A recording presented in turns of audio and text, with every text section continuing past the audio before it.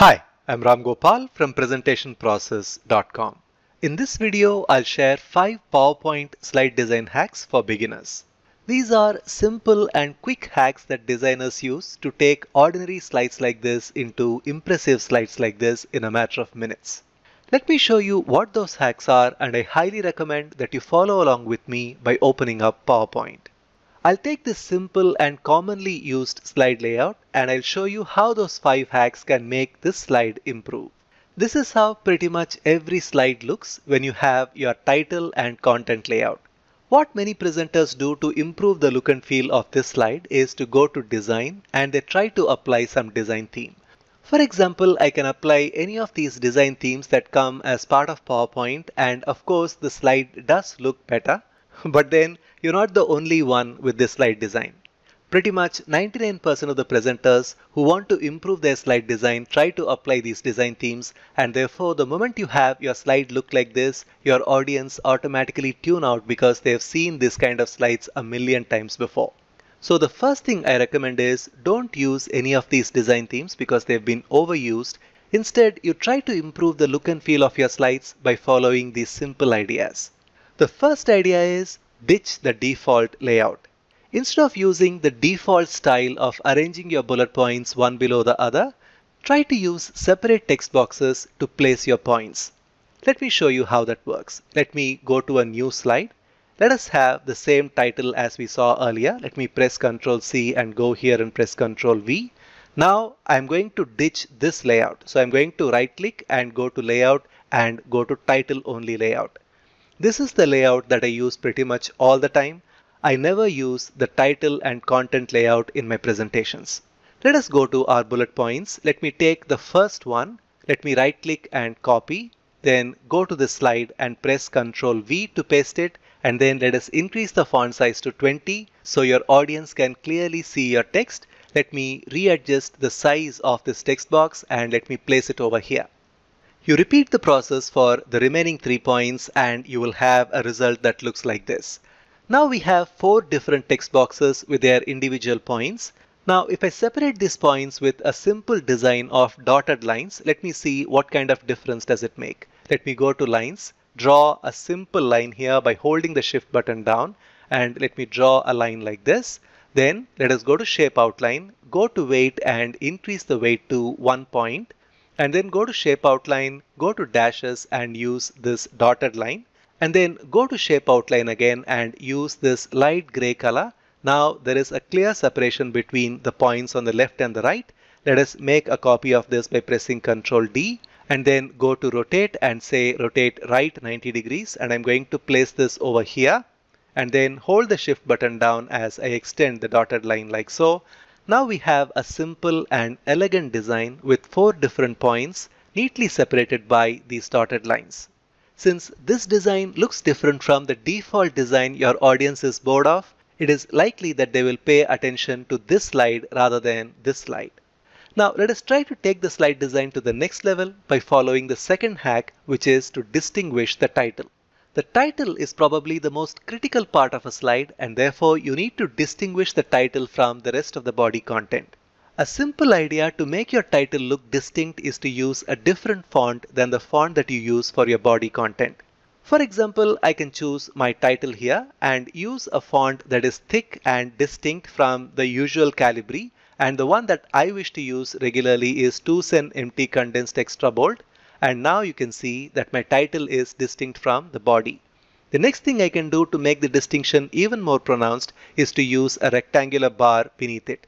So let me go to Auto Shapes Gallery, pick up the rectangle tool and draw a rectangular bar like so. Let me go to shape outline and say no outline and let us use a different fill color. Go to shape fill and use a different color like this and you can even use a gradient to make this bar look even more attractive like this.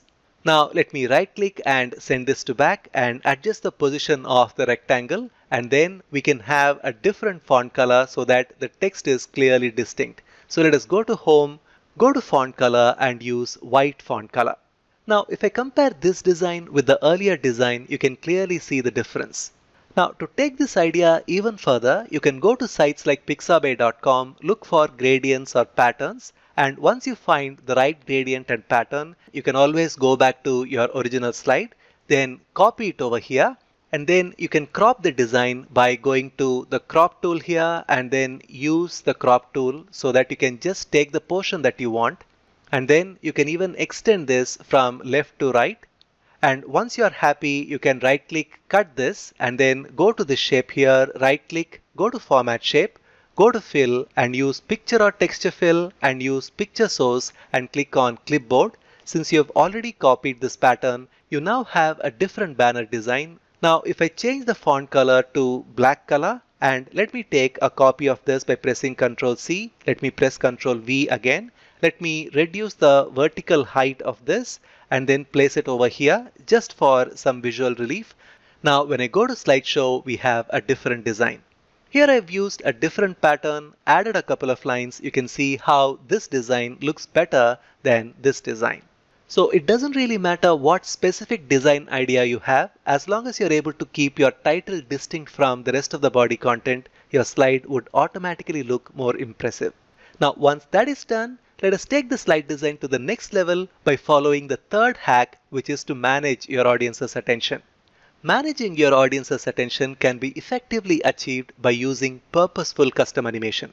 For example, instead of presenting all your points in one go, you can present them one by one like this.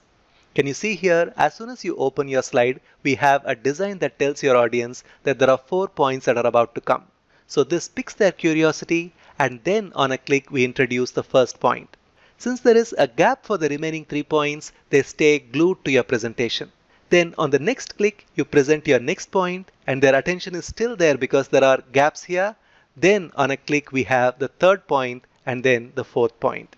Now what I showed you is a simple demonstration of an effective psychological trick called Zeigarnik effect which is about creating a curiosity gap in the minds of your audience so that their attention is sustained till the time you finish your presentation.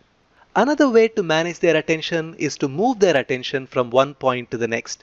For example, take a look at this slide here. We have all four points shown, but then on a click, I draw the viewer's attention to the first point like this. And once I finish my explanation, I click and then draw the attention to the next point like this, then to the next point like this, and then to the next point like this. This is a very simple animation. Let me show you how I did this. This is what I started out with. Let me go to home, go to rectangle tool from auto shapes and I'm going to draw a rectangle that covers the title and then let us use a bright color. I'm going to use this orange color, go to shape outline and say no outline, right click and I'm going to send this to back. Now let me make a copy of this by pressing Ctrl C and I'm going to use Ctrl V to paste it and I'm going to place this over here, right click and send this to back. Let us do the same thing again, Ctrl V and then place this over here, right click and send this to back. And then let us repeat the process once more and let us keep this yellow bar behind this subtitle text 4. Now let me go to animations, go to animation pane so you can clearly see what I'm going to do. First, I'm going to have this enter the scene with a simple wipe animation from left. Then on the next click, I'm going to have this disappear while this one appears. So let me select the same bar again go to add animation and then go to exit animation and say wipe and this time from right. So this disappears on the next click. While that happens, this one needs to wipe from left. So we go to start and say with previous. Now let us repeat the process again. Now on the next click, we need to have this disappear. So let us go to add animation, go to wipe and say this disappears from right. While that happens, we have this one appear. So we have wipe from left with previous. Let us do that one last time. Let us select this, add animation, go to wipe and say wipe from right. And then at the same time, we have this one wipe from left and we say with previous. Now, when I go to slideshow, we have all four points shown. On the first click, I draw the viewer's attention to the first one then this happens, then this happens, and this happens. It's a simple way to manage the attention of your audience and it works every single time. Once that is done, let us take the slide design to the next level by using relevant icons. Icons help you to add the necessary visual cue to help your audience understand and remember your information better. Studies have shown that your audience improve the recall of your information significantly when you add a visual cue to your text. So instead of presenting your slides with just the text element, add icons like this. Let me show you how I designed this slide. This is where we started. Let us ditch all the other elements which we don't really require at this point. I'm going to just show you how to create one simple prototype we have our subtitle text which is made with a separate text box and we have our body content. Then let us go to home. Let me go to auto shapes gallery and pick up the line tool. Hold the shift button down as you draw a straight vertical line like so. Go to shape outline, use black color. If you want, you can even increase the weight to one point. And then let us insert an icon by going to insert icons if you don't use Office 365 subscription, you can of course find icons from any other source and you can insert them onto your slide. I'm going to just pick up any random icon that I see here and I'm going to say insert. Now we have the icon here and I'm going to place it over here. Just for good order sake, I'm going to select all of these and then let us go to graphics format, go to align and say align middle so everything is properly aligned. Let us go to Auto Shapes Gallery, pick up the rectangle tool and draw a simple rectangle like so and then fill it with light teal color because we are using the teal colored theme now. Go to shape outline and say no outline, right click and send this to back. Now we have our first point shown with icon. Let me select everything and press Ctrl G to group it and then hold the control button down as we make a copy. Now we are going to call this subtitle text 2 and let us select this, right click, go to change graphic and say from icons. I'm going to choose a different icon this time, maybe this and say insert. Now I've created my second one. Let us select both of them, hold the control button down and let us create our points 3 and 4 and let us change this to 3 and then let us change this to 4 and let us replace the icons by following the procedure that we used earlier. Now I'm going to choose this one and say insert let us pick this one, right click, go to change graphic from icons and let us choose some other icon, maybe something like uh, this one and say insert. Now let us select everything and move it to the center like this. Now this looks much better. When I go to slideshow, this is how my slide looks. Now the last idea to make your slide design even better is to illustrate with photos. There are times that your text may not be clear enough for your audience to understand your information completely. A good and relevant picture can improve their understanding significantly. Now take a look at how the same slide looks with photos. The way I designed this is, let me remove all these elements. Let me remove the icon. Let me extend this box all the way till the end. And I'm going to add a square shape that would serve as the picture placeholder. Let me even remove this line here. Let us go to Auto Shapes Gallery, pick up the rectangle tool, hold the shift button down as we draw a square and let me place this over here. Now I'm going to fill this with a picture. To save some time, I've copied the picture here. Now once you have the picture, make sure that you select the picture, go to picture format, go to crop, click on the drop down menu, go to aspect ratio and choose 1 is to 1 aspect ratio. That ensures that the picture is square in shape because we are using a square shape for us to create our slide design. Now I'm going to right click on this, cut this, then select the shape, right click, go to format shape, go to picture or texture fill and use clipboard. Now we have one prototype done. If you want, you can even increase the size of this so that we have a much better and clearer photo. Now this looks pretty neat. I'm going to select everything, press Ctrl G to group it and then press Ctrl D so I can make a copy of this and I can place it over here. Now you might wonder why I always create the shape first and then fill it with picture. There are a number of advantages to that habit. For starters, when I have a different picture, I can replace this picture with this picture very easily. Let me right click and cut this. Now that picture is in my clipboard. Let me select this picture and then go to fill. And when I go to picture or texture fill and click on clipboard, now I've replaced the old photo with this new photo. So that is exactly how I created this design. So as a summary, let us see how we started with this default slide design. And then by assigning different text boxes to the individual points, we took the design to this level. Then by making our title look distinct, we created this design. And then we decided to manage the attention of our audience by using purposeful custom animation like this. And another way to manage the attention is by drawing the attention from one point to another like this. And then we saw how we can improve the audience's retention by adding relevant icons. And then to improve the understanding even better, we used pictures like this. These are some simple slide design ideas that you can use as a beginner and your designs would look far better than the usual designs.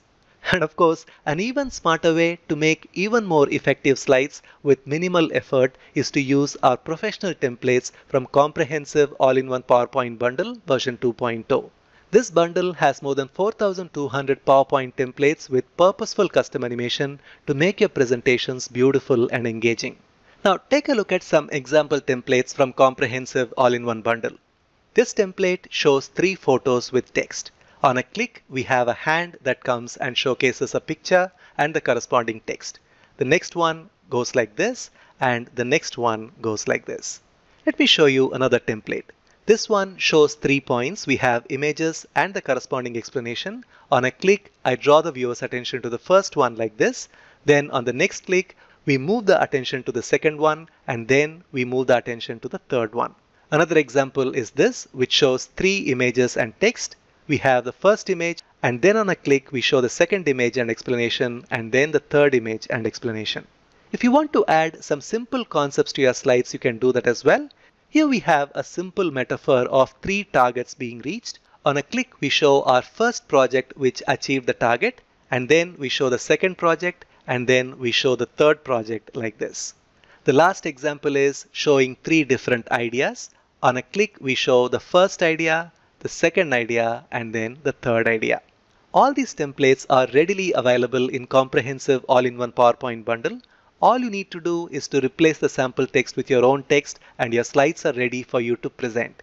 There is no better way to create such impressive slides with minimal effort than to use templates from our comprehensive all-in-one PowerPoint bundle. I will leave a link to this product in the description box below the video. You can click on the link, come check out more details about this product. And if you think that this is the right product for you, you can make a one-time purchase and use these 4200 templates for a lifetime.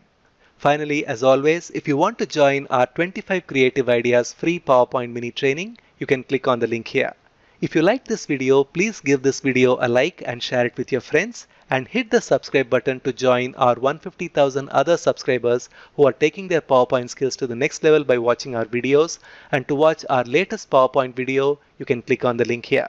So go ahead, click on the link in the description box below the video and check out our comprehensive all-in-one PowerPoint bundle and change the way you create your PowerPoint presentations forever.